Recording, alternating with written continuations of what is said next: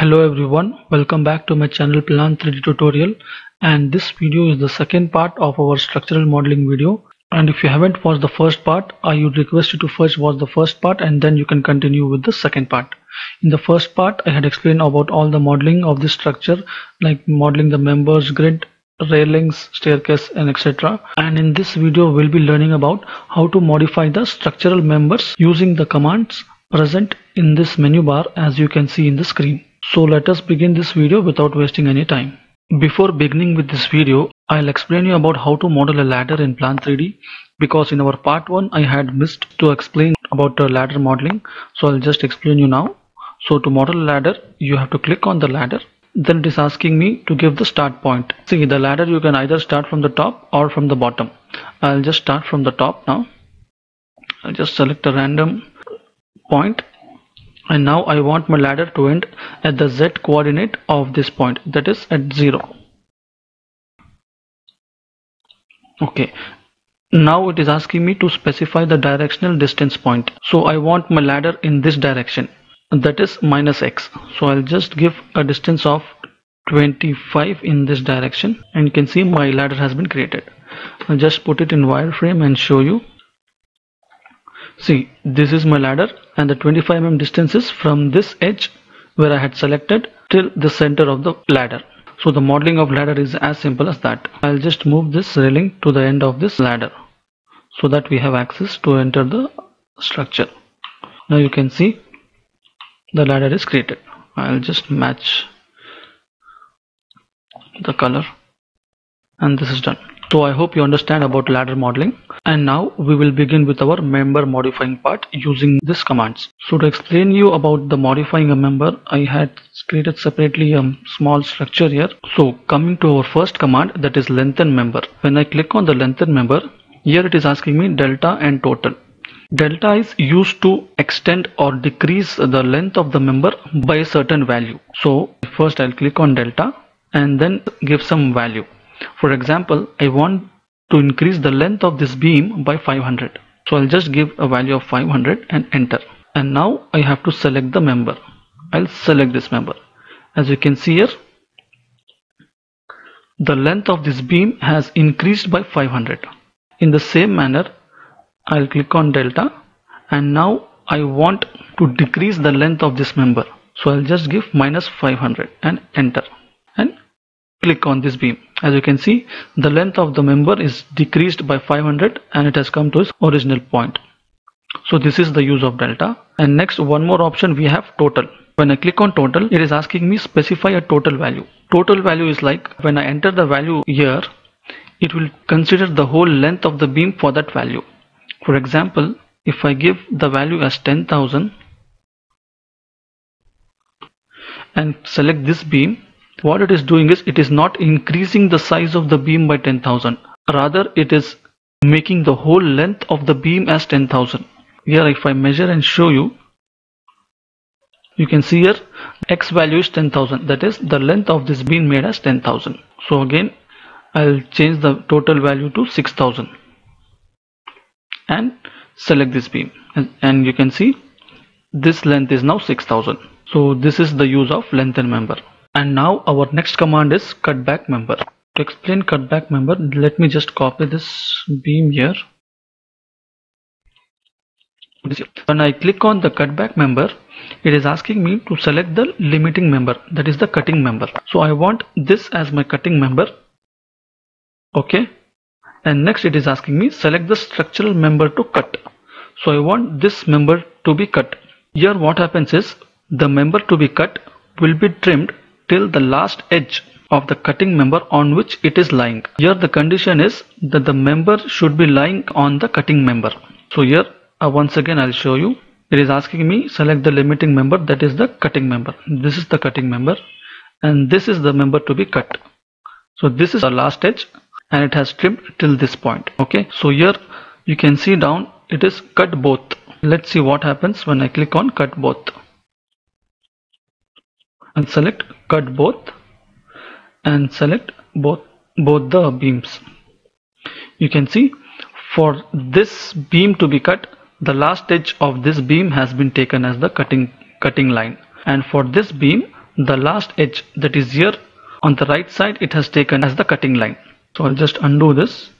And here we have one more option like give gap. So when I select gap it is asking me to give some value. I'll just give us 25 and now I'll select the cutting member and next the member to be cut. Here you can see here there is a gap that is the value which we have given 25 so this was about cutback members. And this gap is basically used to show the weld gap. So the next command here we have is miter cut member. So when I click on miter cut member it is asking me select the first structural member. So I'll select this as my first structural member. And next it is asking me select the second structural member I'll select this as my second structural member. As you can see it has created a miter bend here.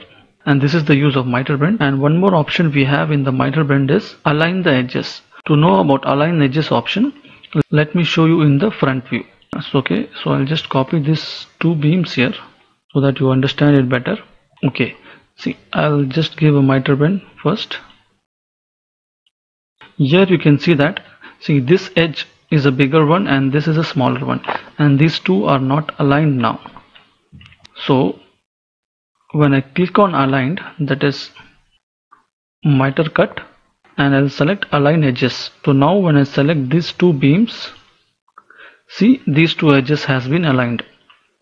So this is the use of align edges. And the gap option as we had seen in the previous command uh, that is cut back member command uh, remains the same. So for example if I give the gap as 25 and select these two members you can see that there is a 25 mm gap. But when you give the gap this align edges option won't be considered because while giving a gap align member option will be discarded and you cannot give that option. So this is how you make use of miter cut members. And the next command what we have here is trim member see trim member and extend member both have the same commands. But the only difference is in trim member the length of the member is reduced or trimmed and in the extend member it is the length of the member is increased or in other words extended. So what I'll do is I'll just explain you the trim member and the same method you can follow for the extend member option. Okay? So I'll put it in the top view. Of these copy the same here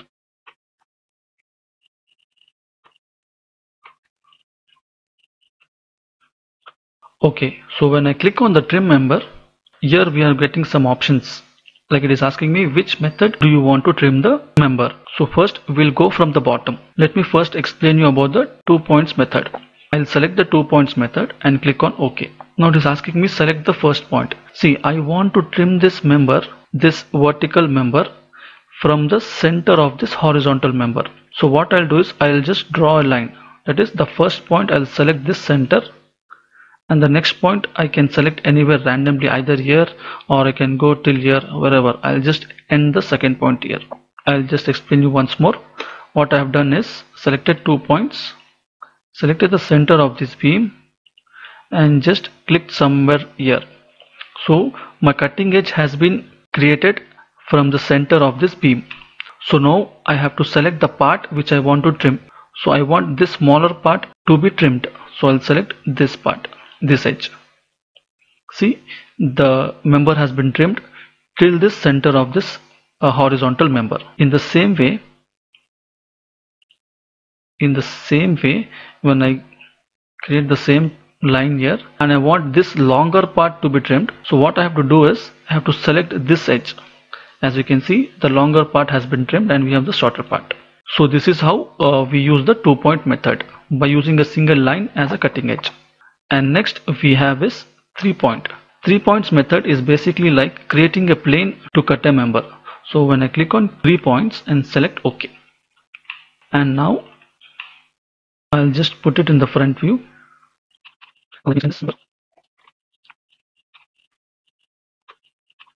Okay so I have a single vertical member and three horizontal members.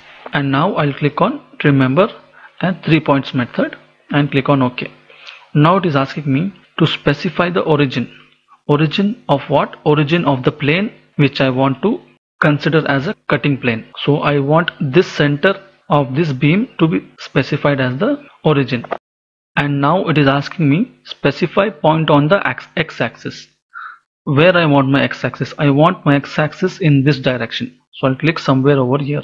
And next it is asking me specify the point on the xy plane. That is this was the x and I want my y plane in upper direction. I'll just randomly select here.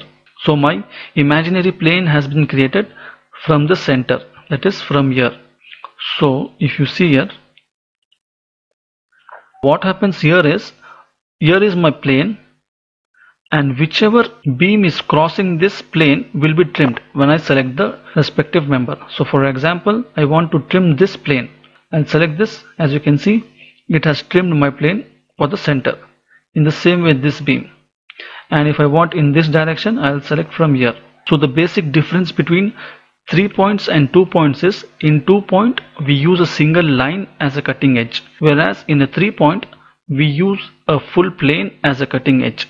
So in a two line, the beam to be trimmed has to lie on the line which we are considering as the cutting edge which we draw after selecting the two point method. So two point can be used to trim the members which are lying on the same elevation whereas when you give the three point method it is creating an imaginary plane so that you can trim different members at different elevation but the member has to cross that plane so I hope you understand the difference between 2 point and 3 point. But if you still have any doubts, you can comment in this comment section. So I'll just clarify you either in the next video or in the same comment section if possible. So now let us go to the next method. And the next method, this is also related to planes. So first we'll talk about WCS plane. See, when I click on XY, you can see it here XY of WCS that is World Coordinate System plane and click on OK. It is asking me select the member to be trimmed as you can see first I have to change it to WCS here you can see this is my WCS plane. This is the x-axis and this is the y-axis. So my xy plane lies in the horizontal and this is the origin. So for example in any case if my beam is crossing that plane that is the xy plane of the WCS system. And I'll, when I click on trim option and select the xy WCS and click on OK and I have to select the beam. Here you can see it has trimmed to the XY plane of the WCS system. So this is the use of WCS system. In the previous case we had created an imaginary plane but here it is taking the standard plane which is available in the WCS system. So I hope you understood that. So coming to the next point that is XY UCS. Before using the XY UCS method you have to create a random plane. I will use the UCS command to create a plane. See my origin, my WCS plane is here that is at the bottom. Here you can see. So I'll now I'll create a UCS plane at the top.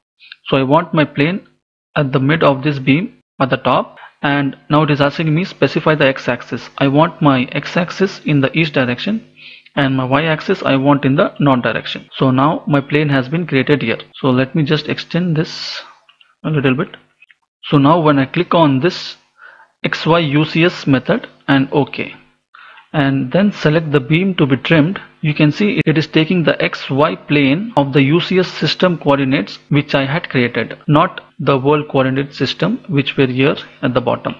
So I hope you understood the use of uh, UCS system. And next we have this names UCS before that I'll change this to WCS and again I'll just extend this beam so I'll be able to explain it to you. So when I click on trim to plane and select names UCS and click on OK. See here I have set my coordinate system as WCS and I have selected the names UCS here. So when I click on the beam you can see it has taken the same UCS system which I had created. While explaining you this XY UCS again to show you I'll trim this beam. See it is taking this top plane as the cutting edge. So what happens in names UCS is the plane which you had created previously will be taken as the cutting edge. So the function of this is uh, you did not uh, create the plane one more time. It will just use the previous plane which you had created by using the UCS command. So this was everything about the functions of this trim to plane command. So as I have used the trim to plane command you can use the same method for extend to plane command.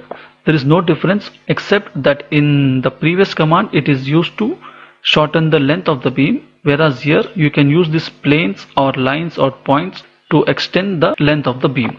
So I just leave it to you and still if you have any doubts let me know in the comment section so that I can explain you in the next video. Okay so now let us learn about this command uh, which is cut member edges. See one condition for cut member edges is the member which you want to cut. For example in this case I want this three members to be cut till the edge of this beam. The condition here is this members endpoint should lie at the center of this beam. Then only it will accept the command. So here the end of this beams lies at the center of this uh, horizontal beam. So now when I click on this command it is asking me to specify the gap. I want the gap as 0 and now it is asking me select the structural members to cut it is directly asking me to select the members which you want to shorten so I will select this member this this and click on enter now you can see it has taken the edge of the members on which these, were, these three were lying as the cutting edge.